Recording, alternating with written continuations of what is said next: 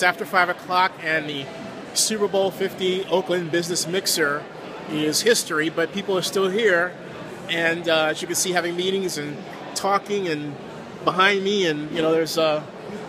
like I said, the legendary